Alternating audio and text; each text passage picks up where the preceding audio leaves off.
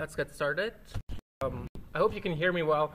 For some reason, the drawer is locked, and so I don't have a microphone to clip on. Can you hear me in the back? Okay, cool. So today uh, will be the last lecture talking about um, neural networks. I kind of promised talking about um, ELMo and BERT, but I decided not to do that and instead talk a little bit more about um, residual networks and other building blocks that you will need for the homework. I want to start with a brief recap on uh, convolutional neural nets. So in convolutional neural networks, instead of having a full matrix uh, that connects uh, input with the hidden layer or hidden layer with the next hidden layer, instead you have uh, filters, as shown here, that are usually um, much smaller than the input, and 1D uh, for 1D signals, 2D for 2D signals like images, and you apply the same filter at each position in the input. Um, this allows you to be invariant to translations of the input and also uh, you're sharing weights between each possible location, meaning you have much less parameters to learn than if you would use a full dense connection. We also looked at this uh, uh, convolutional neural network architectures. Um, so this is like a very old one that we briefly looked at, um, but it has the same characteristic as modern ones. You have uh, layers of convolutions. The output of each convolution is a layer which has several feature maps, which are um, which basically mirror the topology of the input space. So here, the input is a 2D image, and the result of each convolution is again a 2D image. Uh, here in the first layer, we have six different filters leading to six different feature maps that are all shaped like the image. Then there's operations to reduce the dimensionality of the data or the resolution. In this case here, there was subsampling. In uh, this uh, 89 paper, in modern papers, it's usually, on modern networks, it's usually max pooling. Also here, uh, in this uh, very old architecture, there was one convolution followed by one max pooling layer. And um, in mo uh, modern architectures, usually it's several convolutions followed by a max pooling layer. And then in the end, you have um, fully connected layers. So basically, uh, if you get very close to uh, the target, you um, you basically drop this uh, topology that you had from the input, in this case, this 2D topology of the input image, and you just flatten it, and you use um, uh, full weight matrices instead of convolutions. This leads to uh, most of the weights in such a network actually being in the fully connected layers in the very end because the features only, uh, sorry, the filters only have very few parameters to learn. I wanted to give a brief example of the difference between fully connected and convolutional networks. Um, and so I want to apply both to the original MNIST data set, which are handwritten digits, and the permuted version of MNIST. So here, the bottom is exactly the same as the top, only I got a permutation of the 784 pixels, and I applied the same permutation over everything in the training data set. So I just um, changed the order of the features. And I want to see what does this to um, fully connected and convolutional networks.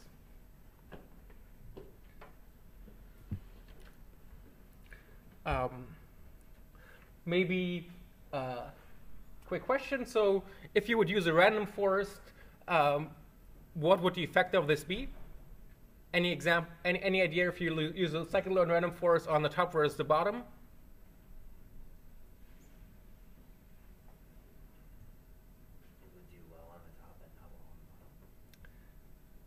Um, the answer was it would be, or that it was given was it would be do well on top and not well on the bottom.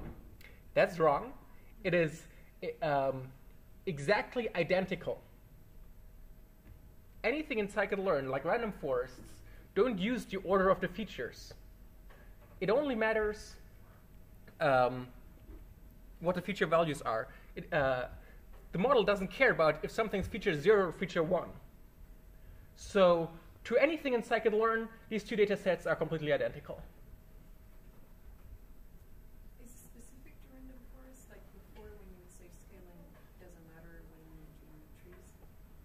Oh, this is not specific to random forest, any, any model in scikit-learn, because it assumes rectangular data, and so the order of the features doesn't matter. The features are treated as completely independently. Uh, none of the models, like linear models or neural networks or anything, cares about um, whether feature 1 and 2 are related or whether feature 1 and um, 217 are related. So um, this transformation that just uh, shuffles the, uh, the pixels doesn't change anything on basically all the models we've seen so far. If you do PCA, if you do k-means, whatever, it'll do as well on the top as on the bottom. Sorry, how, how come we use reshape minus 1 here? Reshape minus 1 just means the remaining dimensions. So here the remaining dimensions are 60,000 for the training data set and um, 10,000 for the test data set. So Yes, it's the same as shape zero, yeah. And basically, you, you, can have one minus one in first uh, dimension. Okay, so I'm going to use um, here a very small, fully connected neural network um, with an input shape of 784 and a hidden layer of 512. So this is a single hidden layer. I'm using the Keras sequential interface uh, with the rectified linear unit in the hidden layer and the softmax unit in the output layer. And if I compile the model, um, this is sort of the result. Um, call summary, so there's um, 512 hidden units, there's parameters between the input and the hidden units, are uh, about 400,000, and then between the hidden units and the output layer are about um, 5,000. And I'm gonna, so this is just a very small uh, standard neural network, and I'm gonna uh, compare this to um, also a small convolutional network where um, I'm again using the Keras sequential interface. I start with a 2D convolution with filters of size 3 times 3 um, I have 32 of these filters, so it means I have 32 input maps. I do max pooling in 2 by 2 windows. I do another 3 by 3 convolution. I do another um, 2 by 2 max pooling. I flatten the output, and I create a, a dense layer, and then I have the number of classes in the output layer with a softmax activation.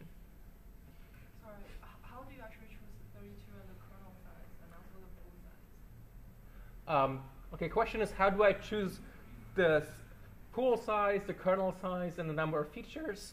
Um, I just made them up.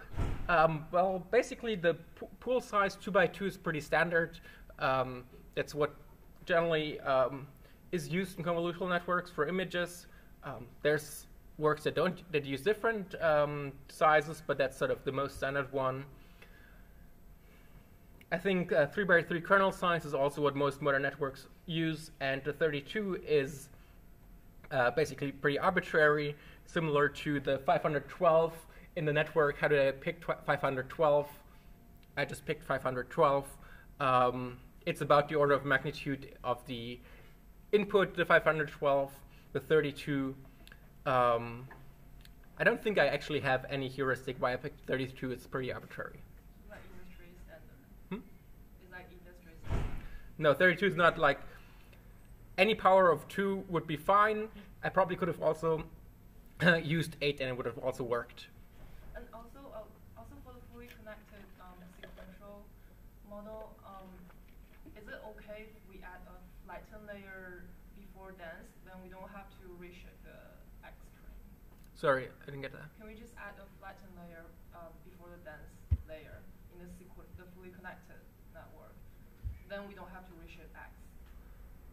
Um, X yes. will be 28 times 28, then we input that Uh. 28 times 28, then we just add a flatten layer first. Yeah, I mean, you, you could, be, instead of reshaping the input before you give it to your network, you could put a flatten layer uh, in the So fully connected network. same.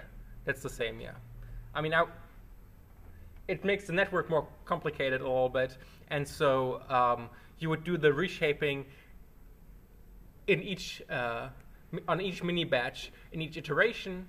I mean, it's uh, no op, so it's, it doesn't take any computation, but still sort of, I would just do it once before training. But it, it would result in the same out. All right.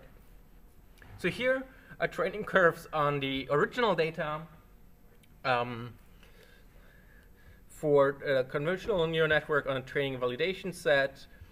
Um, you can see that they're both pretty good uh, at like 98% accuracy. Training set overfits a little bit, but um, both of these do, very well. I didn't really put a lot of effort into tuning these, so this is not state of the art, and this is run on my laptop, but it's like solves the task pretty well.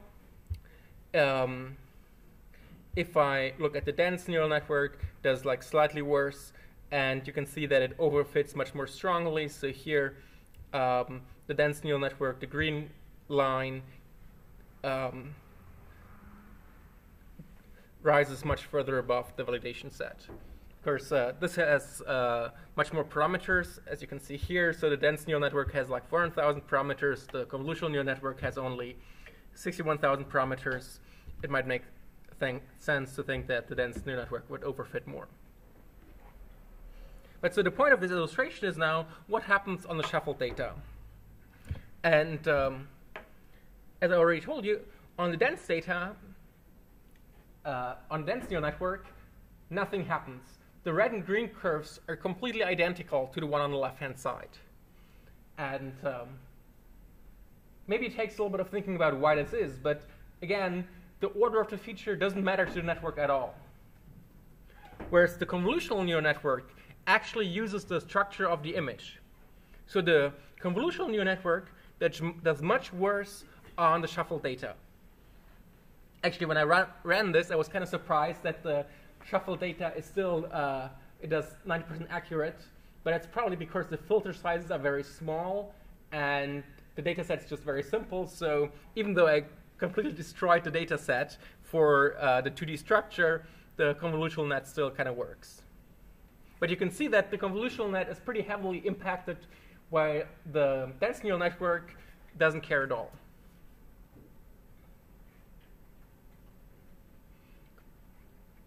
All right, this was sort of just trying to illustrate um, the difference in approach of uh, using convolutional networks and using dense neural networks.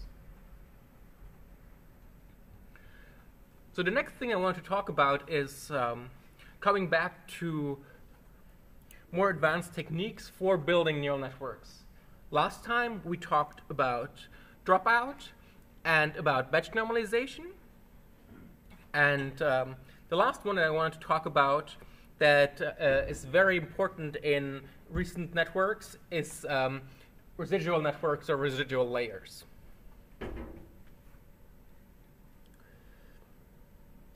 So people have observed that it's actually quite hard to train very deep networks. This is a graph from the ResNet paper, and you, it shows on the left-hand side training error, on the right-hand side test error, error, and um, so what they're trying to show here is that if you look on the training set side, they have a 20-layer network and a 56-layer network. And these are like quite a bit deeper than what we looked at so far. Um, what's somewhat surprising here is that the 56-layer network has a higher training set error. What that means is that the optimization was not able to fit this model.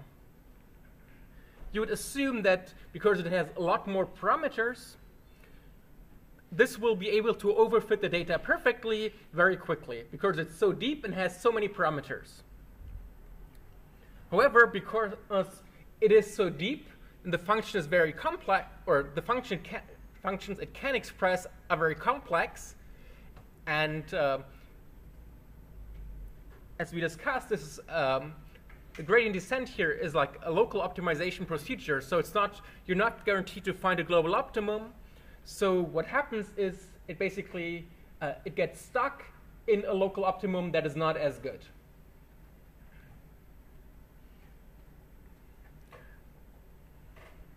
So um, if it could find a global optimum, it could always do better than the 20 layers. It could basically just make the uh, remaining um, 36 layers all just be the identity, and then it would be as good as the 20 layer network. Or it could learn even more and would be much better than a 20 layer network. But so you can see that um, you, we have trouble fitting these very deep networks. Why do we care? Because um, we saw that the deeper uh, networks usually perform much better. And um, so we hope that if we could train deeper networks, we could improve state of the art. The solution that this paper proposed is, in a sense, um, quite elementary and quite simple, but also quite genius, um,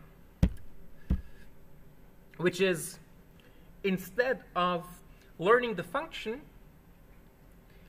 f of x, they learn the residual from the identity. So instead of uh, having weight layers with rectified linear uh, activations, and then say, I want to um, uh, learn this f of x, instead what we're learning is the difference of um, what these layers exp express, should express to the identity. So if you learned the function f of x be equal to 0, it would just be the, uh, these two layers would together just express the identity.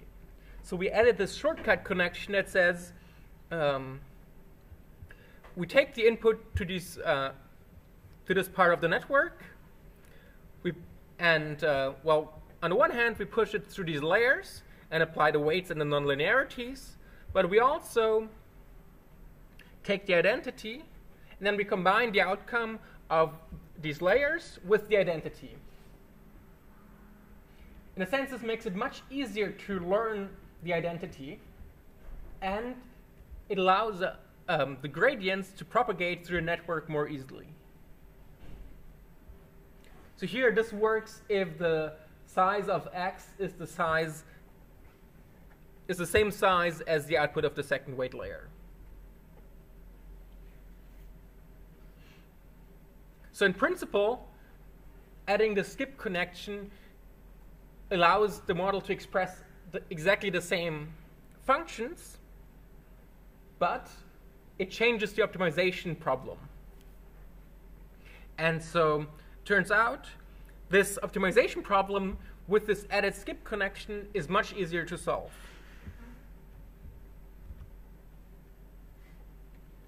You can also do um, something similar where the layers have different sizes, where instead of having an identity skip connection, you have a linear connection. So WS is the weights for the skip, skip connection. There's not a nonlinearity here. And this is basically if you have, um, if you want to skip a pooling layer, you sort of need to reshape the image, basically.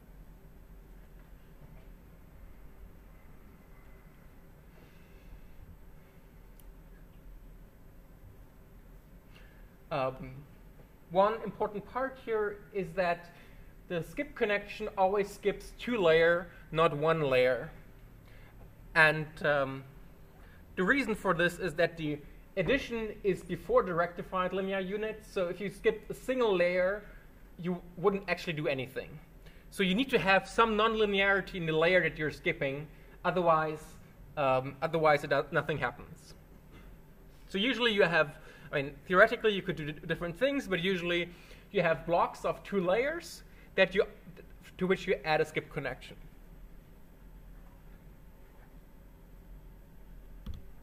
Here is an architecture um, that I proposed in this network.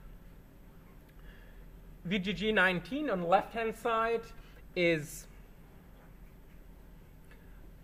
um, was like a state-of-the-art model when this paper came out. Uh, double check when, when did it come out? Uh, 2015.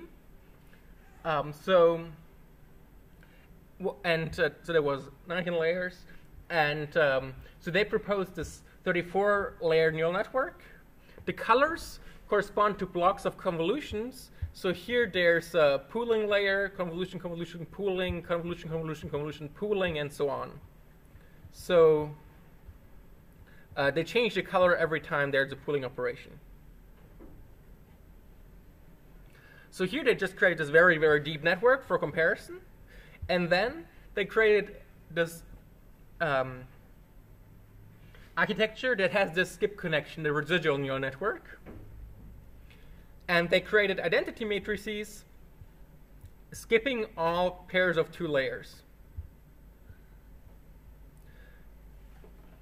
The, um, the dotted lines here are when, they, when the skipping includes a pooling layer, so they need to do some reshaping. But other than that, the only thing that happens is you add an identity transformation that uh, skips two layers. And so the number of um, parameters, the number of weights you're learning in the center network and in the network on the right is exactly the same. But what they show is that the model on the right-hand side actually performs much better. So here, they're training this on ImageNet, so large-scale image classification.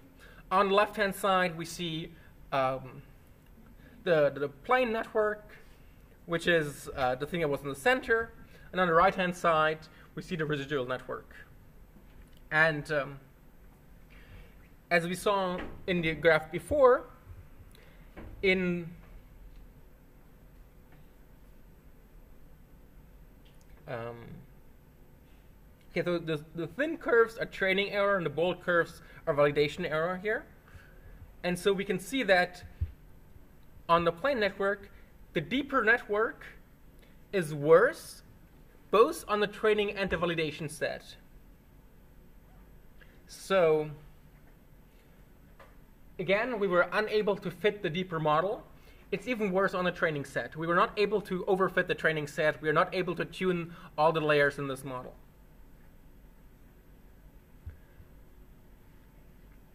For the ResNet, on the right-hand side, you can see that adding more layers actually improved performance.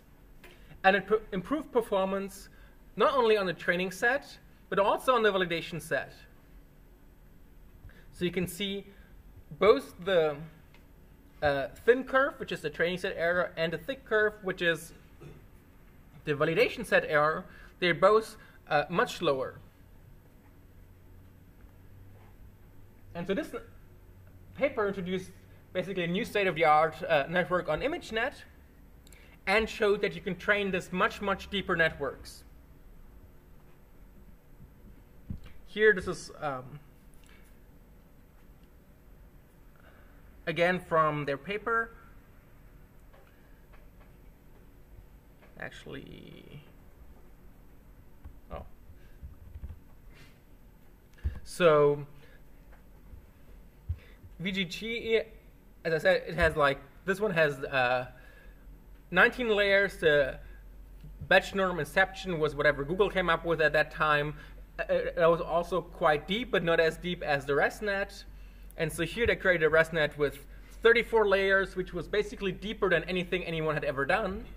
And then it, they said, oh, well, why don't we add a couple more layers? They did 50 layers, 101 layers, and 152 layers. And the 152 layers, which no one until then was able to train a network this deep, uh, became new state of the art. And so, uh, and any state of the art model since then uses this technique uh, for image recognition. But this technique is generally applicable to learn very deep neural networks.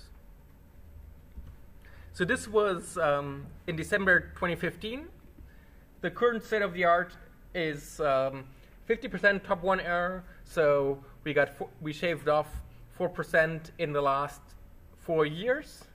Huh, I didn't realize that was that. But um, this technique has been like quite fundamental in uh, making a big change in what kind of architectures can be trained.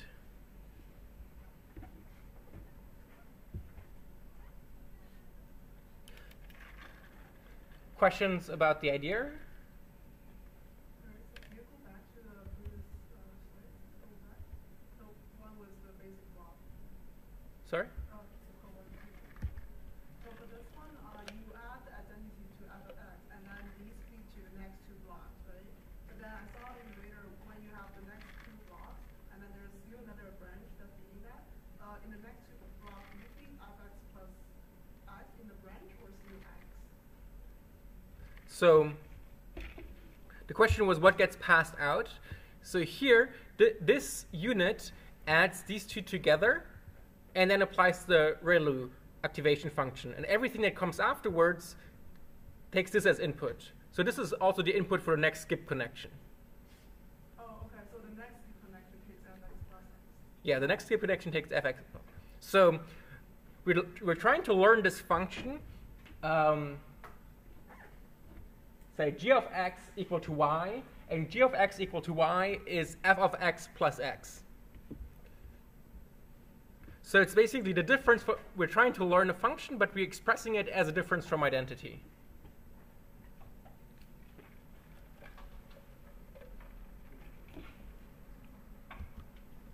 All right.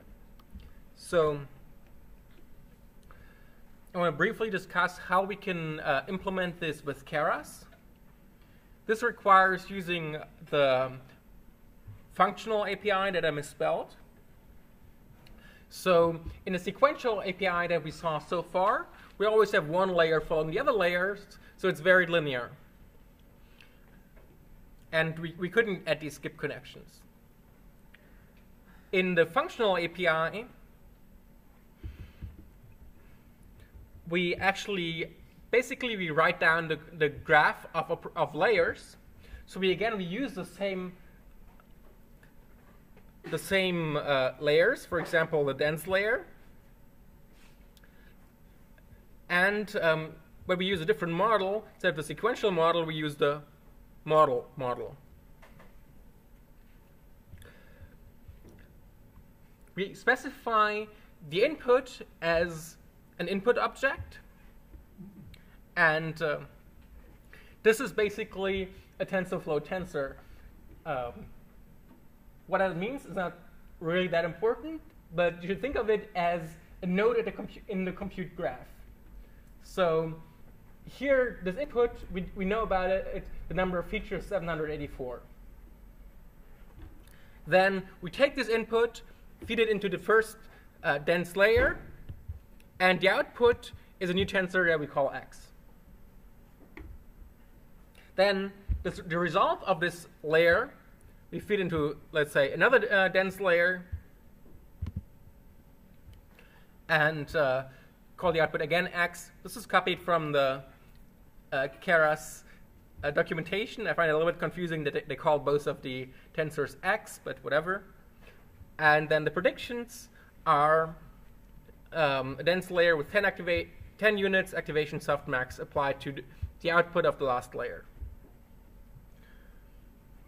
So here, I what I'm doing is I apply the layer to the input uh, or to the, the output of the layer before. And so in this way, I create, in this case here, a simple chain of operations going from the input to predictions. Then I create a model where the input is the input and the outputs are the prediction. So I basically I created this graph of operations and I identify this is the thing I should where I want to put my input. This is the thing where I'm looking for the output, and then I can do uh, the same thing I did with the sequential interface. I can call compile and uh, fit the model. So this is just a slightly different way to um, write down the network. So here this would be a network with um, two hidden layers and 64 hidden units and uh, 10 class classification problem on MNIST. So this we could express with a sequential model, but um, sorry, with a sequential API, but uh, this API is more flexible. Um, before we add the, the skip connections, I want to show another example here. This is um, creating a convolutional neural network. Again, I start with the input, then I take my convolutional 2D layer with 32 um, filters, each time uh, size 3 by 3, and ReLU activations, and apply it to the input. Because I want to add the skip connections here, I tell it to use padding equal to same, which means that I'm using same convolutions, which means the output of the convolution will be the same size as the input. So this is sort of one of the three ways to do convolutions that we talked about last time, where we can do valid, same, and full. And um, depending on which one you, you choose, either the input shrinks, expands, or stays the same. Here, because we want to add skip connections, we make sure the size of the input stays the same. So here I have two convolutional layers, the max pooling layer, two convolutional layers, the max pooling layer. And so for the sequential interface, I would just have a list of all of these and call sequential on it. Here, I have the, this input tensor and apply the layer to the input tensor, gives me an output tensor for this layer, and I give this as input to the next one, and so on. So this is just a slightly different way of writing this down.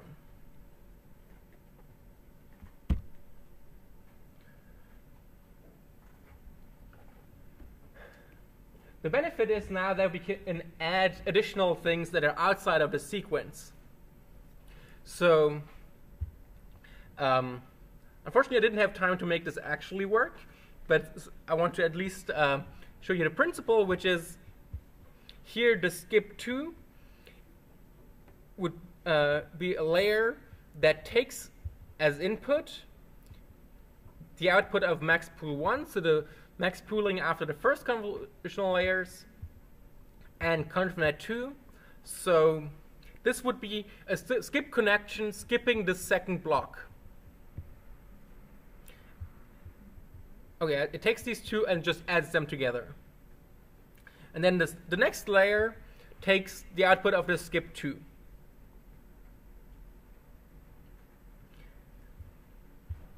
Here, um, if you look at this list, um, it looks kind of uh, kind of uh, linear, but actually, if you look at here in the end, unfortunately, it's cut off in the connected column you can see that the add layer is connected both with the max pooling layer uh, here and the conv2d layer here.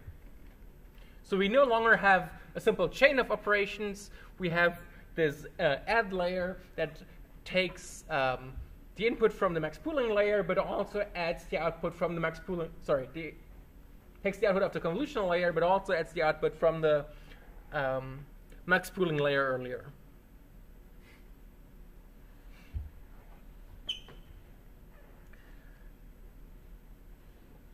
So I think this network is just too small, which is why uh, learning here didn't really work. Um, or it might be that I messed up the order of the ReLU and the skip connection. But yeah, but this is sort of how you in principle write down these more uh, complex architectures with skip connection using the, the functional interface.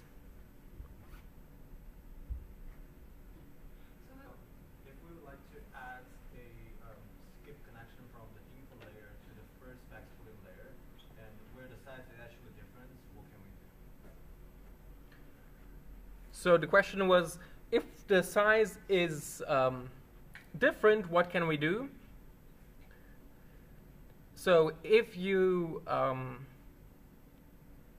I mean, okay, you need to make the sizes the same. So you could upsample them, for example.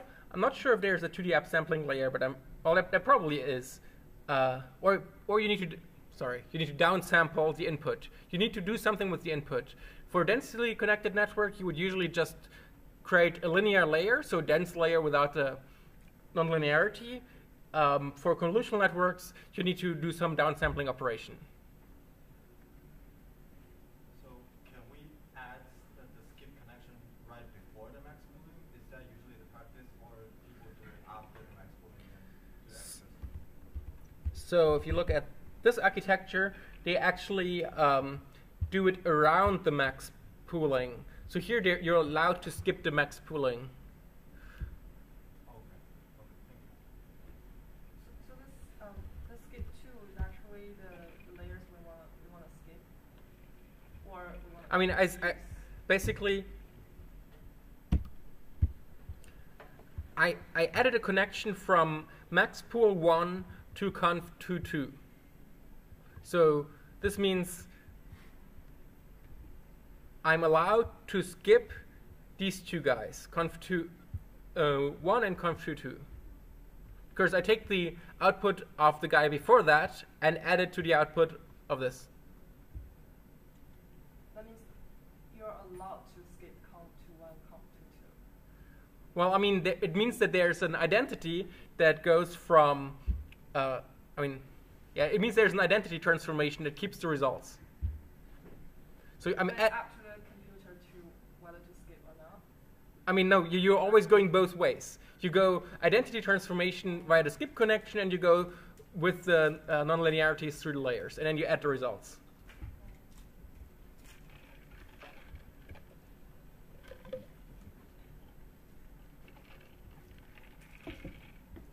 All right. So after this, um, people got even a little bit more crazy and created what's called DenseNet or densely connected convolutional networks, which take this idea um, basically even further. So here, they um, so these are layers of convolutions, and um, oh, sorry. So uh, these these are sorry these are feature maps. There's a layer of convolution, feature maps, layer of convolution, and so on. And so they they added skip connections basically from each layer to each other layer. So you're allowed to skip each layer individually, and you're but you're also allowed to skip forward. Okay, you you're allowed to skip forward one step, two steps, and so on, uh, as often as you want. And so here, at the top, this is basically one densely connected block of convolutions. So here they all work on the same size image. And so we have convolutions and convolutions, convolutions, convolutions, and every time you can skip each of the layers, and you can go from any layer to any other layer. Then there's um, there's a pooling, and then you have another block. Can you explain again what it means for uh, convolutions to be densely connected? So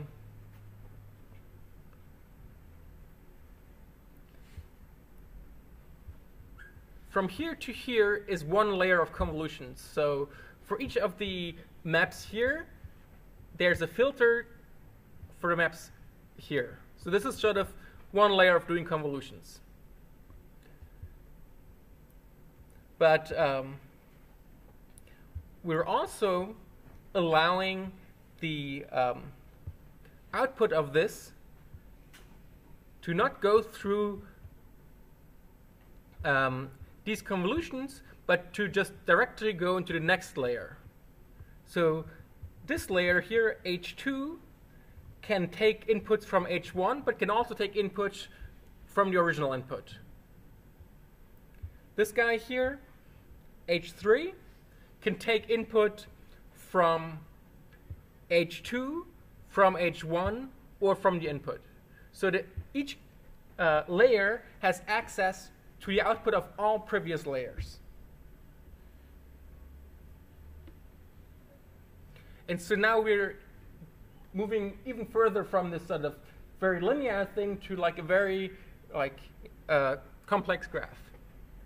What is that convolution layer which is mentioned before, uh, like between the dense blocks and I mean, that's just um, a convolution without any skip connections.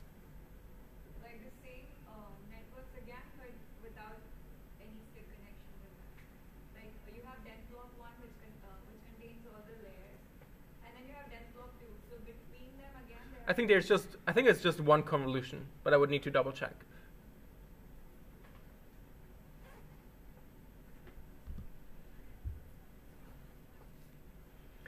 And so um, this again made like a big difference in uh, in performance, and so it used much less parameters and got much better um, results. Um, so this was basically another neat trick. This is not used as much. It's not as much of um, like a fundamental building block now, but it was definitely something that advanced state of the art then. So, um, I mean, the idea here is again that it's easier to propagate gradients through this because the gradients from the very back via the skip connection can uh, be a, can help learn the weights in the uh, very front. So basically, you you're creating shorter paths from the output to the input, and the shorter path allows the gradients to um, to be propagated more efficiently.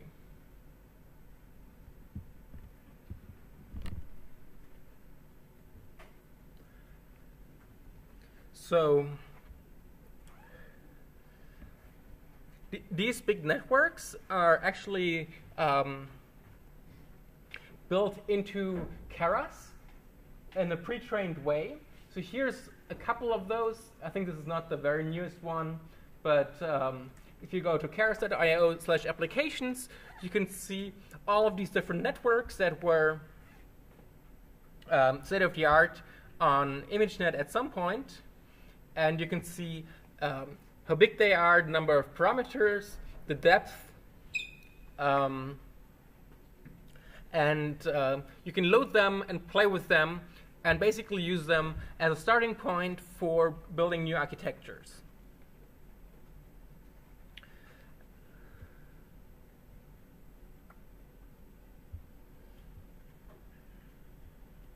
And so here, one, and so these dense nets are quite commonly used because they're pretty good uh, while still not being too big. Mobile net um, is uh, they try to compress or create a, a smaller network that can run on mobile devices. So this was basically optimized for um, being good while also being very small.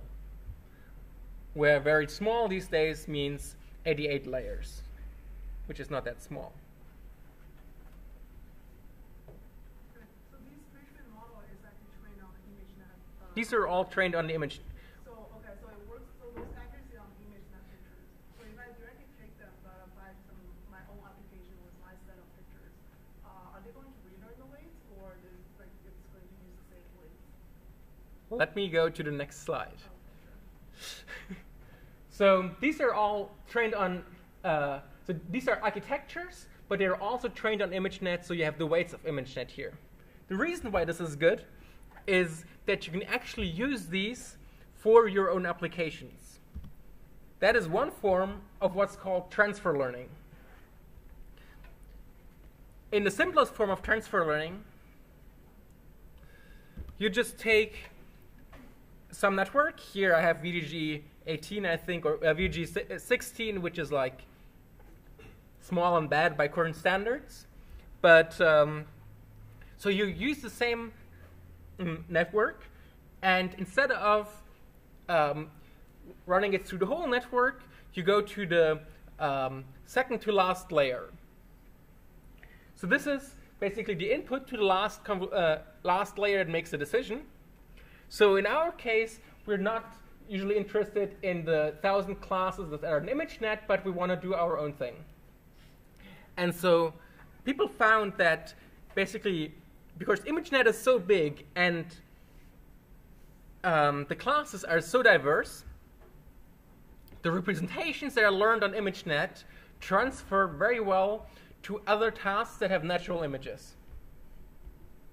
And so we can use this network and not re- relearn it um, and use it basically as feature extraction. And I want to give an example of um, one silly application that I did, which is trying to learn uh, ball snakes versus carpet pythons. Ball snakes are also pythons. So two different kinds of pythons that, we, that I want to distinguish. Um, one of the benefits of using these pre-trained networks is that I can get away with a much, much smaller uh, data set. So training these very deep architectures takes hundreds of thousands or millions of images and lots of GPU time. Usually, we don't have hundreds of thousands of annotated images for whatever task we're interested in. What I did was um, actually I just downloaded uh, some images from Flickr um, via the Flickr API, just searching for carpet python and ball snake.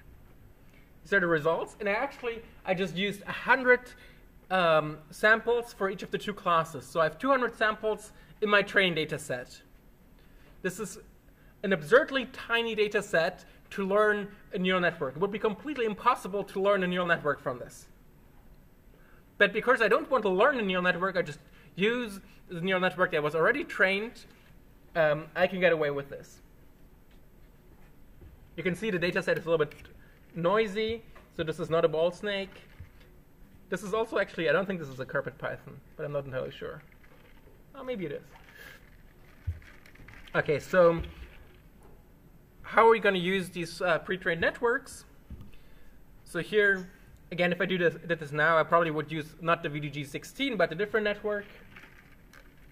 First, I need to reshape my images so that I can put them into the network. The network accepts particular order of channels and um, particular image size.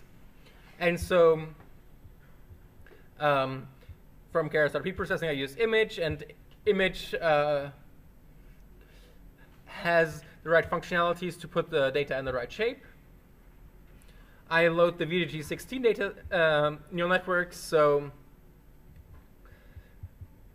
it's included in the Keras applications, and I say include the top layer equal to false, meaning the last layer that actually does the classification, I remove that. Because I'm not interested in these like um, a thousand classes, I'm interested in my two classes here. And I uh, tell it to load the ImageNet weights. So this provides me with the architecture together with um, the weights trained on ImageNet. Oh yeah, then I do there's also specific um, pre-processing for VGG16. So I pre-process my input, and then I call predict on the model, uh, with the model. And so the output, so X here was 200 images that were all, after pre-processing, 224 times 224 and RGB. And um, the output of the uh, model, so the second to last layer, is again, I have 200 images. They're now, the resolution was downscaled to 7 times 7, and there's uh, 512 uh, feature maps. So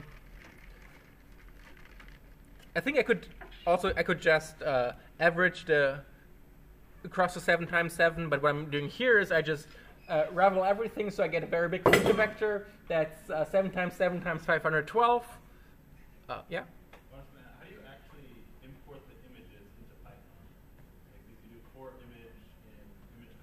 Oh. How do you actually get them? How do you actually How did I do that? Probably scipy.read image, or you say uh, image.io.read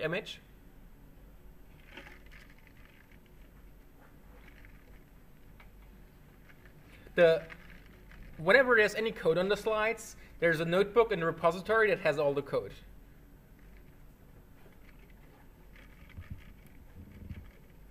Okay, so yeah, so now here I, I, ravel, ev- I flatten everything out so that I have one long feature vector for each of my 200 images. And um, then actually I'm just applying logistic regression on this. Um, and I can see that on the training set I'm 100% accurate. Um, and on the test set I'm 82% accurate, which is actually not too bad, given that I only have uh, 100 training images each, and there's a significant amount of label noise. So I don't want to go into uh, like that much detail here, but this is a very, very powerful pattern uh, using um, a neural network with weights that are trained on some generic task and then applying the same network to your task. I removed doing this from the homework because I wanted to have you play a little bit more with the architectures. So instead, you're, play, you're doing a ResNet now instead of doing um, this feature extraction. So the, the feature dot fit is the, so the feature after you do model dot fit is, is all the features extracted before you do the final uh, flattening and classification. right? Yes. So that's like, it's this guy here. Okay. So then with the, the, the extracted features, you then uh, feed it into like other densely connected layers that you design yourself and then they ask that dense layer to. I mean, yeah. Basically, I use logistic regression, which is the same as a single dense layer. Oh, Like logi- multi-class logistic regression is one dense layer. But uh, I did that here because I wanted to use scikit-learn. I could have also just um, added a new dense layer and retrained it.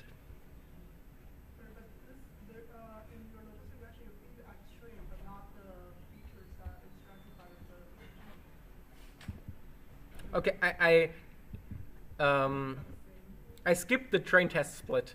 I, then called train test split on features underscore. Sorry about that. So here, X train and X test are the features underscore split into training and test data. So this was just um, taking the output of the convolutional layer. There's another option, which is fine tuning. In fine tuning, um, you replace the output layer and then you uh, learn not only the output layer, which is basically what I did with logistic regression, but you learn also, uh, you change all the initial weights. So here in fine tuning, you would um, remove the last layer, add a new fresh last layer, then um, you would usually train just the last layer for a couple of iterations. And then you would do pr- backpropagation through the whole network. So you will fine tune the weights, uh, like the, all the convolutional filters, to better batch your task. You want to um, train the last layer for a little bit before you do that, because um, the last layer, if you create a new last layer, it's initialized randomly. If you just do backpropagation, back, backpropagation through the whole network, you would destroy the pre-trained weights. And so you just basically you start by just training the last layer, and then once it's sort of good enough, you do backpropagation through the whole net, and you adjust all the filters uh, to do well on your specific task. This, um, I mean, this requires more computation because you need to like train a big network, and also potentially uh, requires more data because um, it's more it's easier to overfit now. If I just use a hundred images and try to adjust everything in this big network, I very easily can overfit.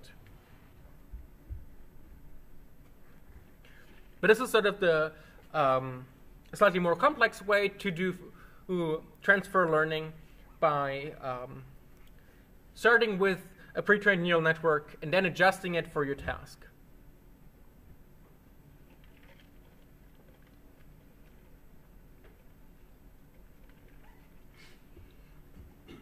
And that's so using either just the output or of a network or doing the fine tuning is how anyone in industry would uh, approach any new computer vision problem. So it's very unlikely that uh, anyone would start from scratch from anything. Um, if you have natural images, then um, people would use a pre-trained ImageNet net.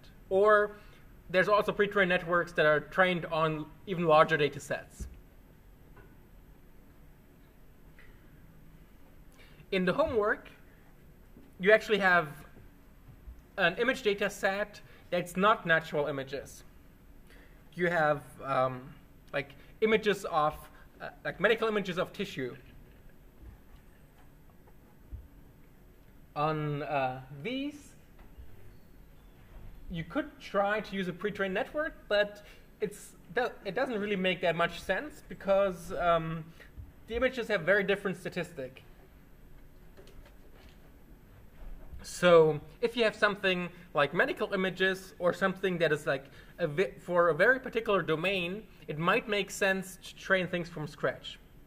For example, you might not even have an RGB image. You might have different channels because you have different sensors. Like if you have an infrared camera um, or a depth camera, you can't even use these things. Or if you have X-ray, um, the structure of the image is quite different, and then you would start from scratch. If you have a natural image, then it makes a lot of sense to start from uh, one of these pre-trained networks.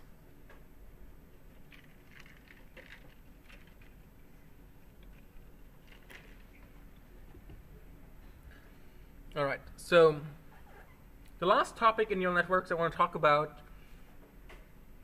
is um, going beyond what's called feed-forward neural networks to recurrent neural networks, which basically are networks that deal with uh, time series or any kind of series object. In particular, they can deal with um, variable length series.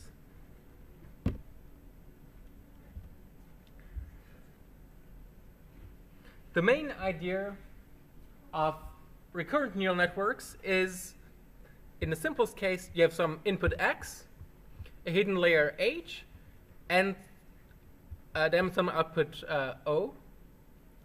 And at each time step, you observe some new input x, but you not only observe the x, you also get input from the hidden layer at the last time step. This is what this v this is basically a self-connection of H to itself at the last time step. And so unfolded over time, it would look like this. So you have um, the prediction you want to make at xt. You have some connection uh, to hidden layer ht, and then to the output ot. And you also have some input from the the hidden layer at t minus 1. Here there's also some um, weight sharing going on, so the weights that connect the input to the hidden layer are the same at each time step. The ones that connect the hidden layer to the output layer are also the same at each time step. And so the ones that connect uh, the last time step to the current time step are also always the same.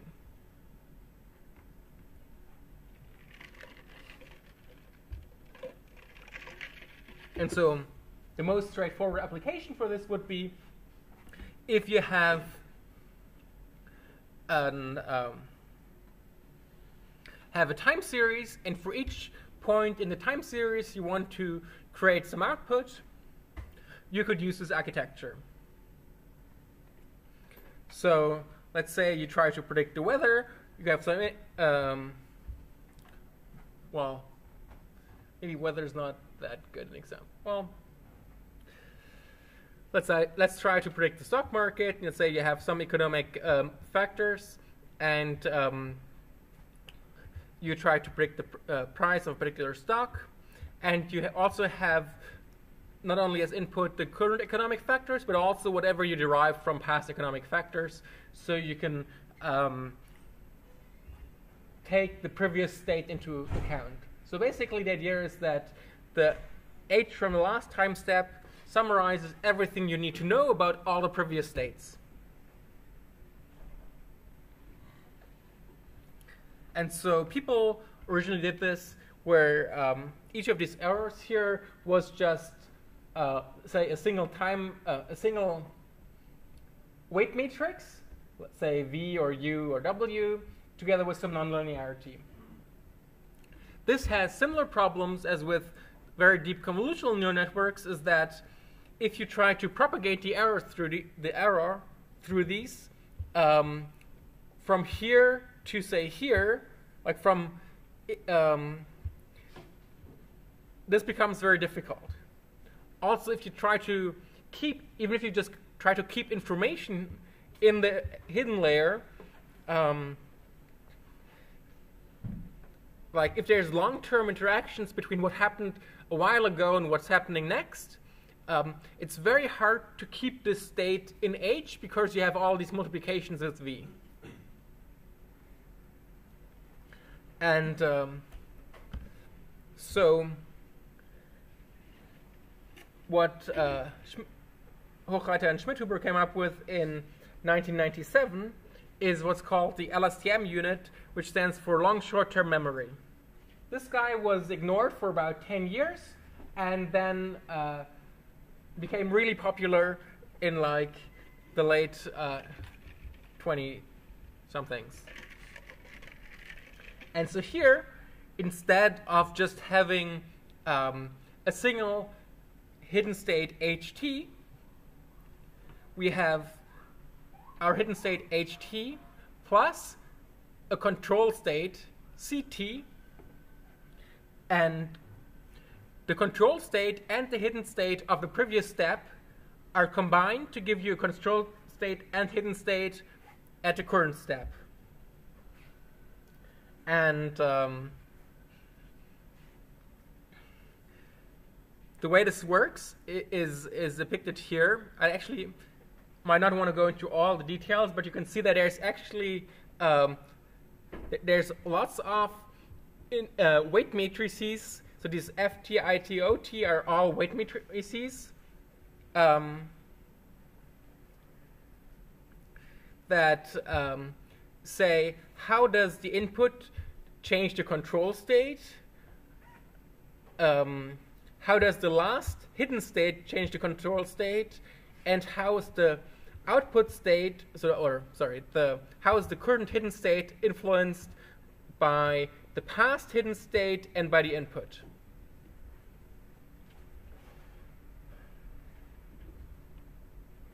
And so, yeah, I don't want to talk through the details, but basically the, the idea is that depending on the control state, you can uh, remember the, the previous hidden state or you can blend the previous hidden state with the current input or with whatever you derive from the current input.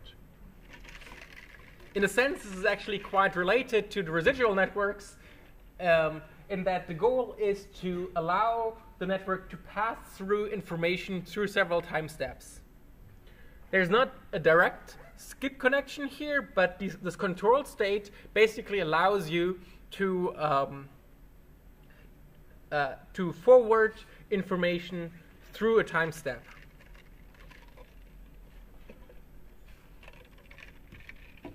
So this is quite complicated and has a lot of internal of these internal weights to produce the, the next control state, the next time step.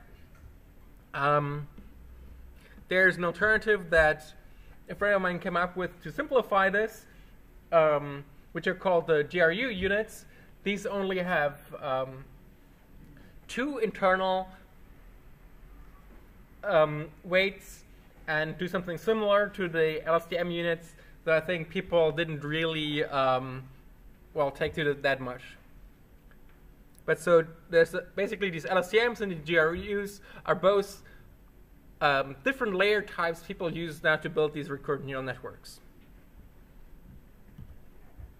And then basically each layer is replaced by one LSTM unit that has many of these internal uh, connections, or sort of that has all these internal connections that um, relate the control state and the hidden state. And so now, um, here, basically you have this A is the repeating LSTM module, and for each time step you have this LSTM module instead of just having a hidden layer. And people found this works much better than just having um, like single matrices and standard um, weight matrix and nonlinearity. And um, a lot of people are using LSTMs just as black box, and you basically don't really need to worry too much about what goes on inside this box, and you can just use this as um, a layer for building recurrent neural networks.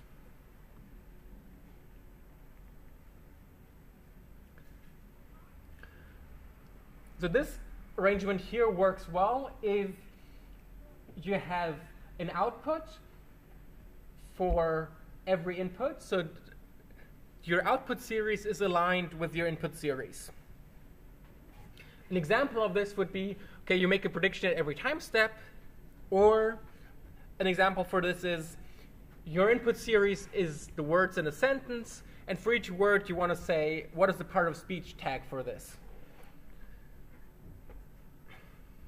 But if if you want to do something where the series are not aligned, say you want to translate a sentence from um, English to German, then you couldn't use this because if you translate um, a sentence, the, the you don't translate word by word, and there doesn't need to be the same number of words in the output as in the inputs. So it's so you have two series, but the series are not aligned. And uh, for this case, there um, was this uh, very interesting paper called Sequence to Sequence Learning with Neural Networks, where they basically use LSTMs, but they don't um, try to predict at uh, each time step. Basically, for the first couple of time steps, they just feed in the series. So let's say your input is ABC. You feed in ABC, and then a special token that says end of sequence. So just imagine that being like a special word in your language or a special character. And then once the network sees this uh, end of sequence, you start looking at the outputs. And so the first output of the network, uh, in this case, here's W. You take the output, you feed it into the network, and you get the next output, which is X. You take this and feed it into the network, get Y, and so on. And you let the net, uh, network produce outputs until at some point the network produces the EOS token, and then your um, sequence is over. And so you can use this architecture to predict sequences of arbitrary length from other sequences. And uh, this was predicted, um, uh, this was used uh, quite nicely for doing some uh, machine translation. So here uh, in this example, you have um, this is an input layer.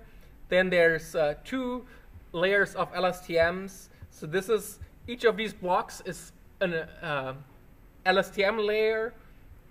And so you have LSTM layers connected through time, and you have um, basically a depth too. And then you have an output layer in the end. And so here you could would feed in uh, your input, which are say, I am a student.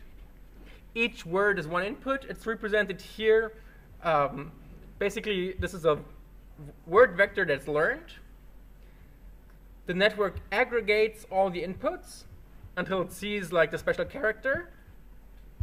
And then it starts uh, producing outputs as distribution over words. So here, um, the, uh, you would pick the most common, uh, sorry, the, the most likely output, is case moi, you feed this into the network as input, you get another output, um, which is the next word, and so on. And then um, at some point, you it, the network produces the end of uh, sequence, and then you basically finish with your translation. And uh, the most surprising thing about this is this actually works. And um, you can just train it with gradient descent. So basically, they just wrote down this huge neural network, you feed it in sequences, and you uh, train it with trying to predict these sequences. And if you have enough data and you run it for long enough, um, you can actually train this neural network. And so what's interesting is that basically the whole input sentence was compressed into um, the activations in these hidden layers. And then upon seeing the end of sentence uh, marker, the network can reproduce a translation of the sentence as a sequence.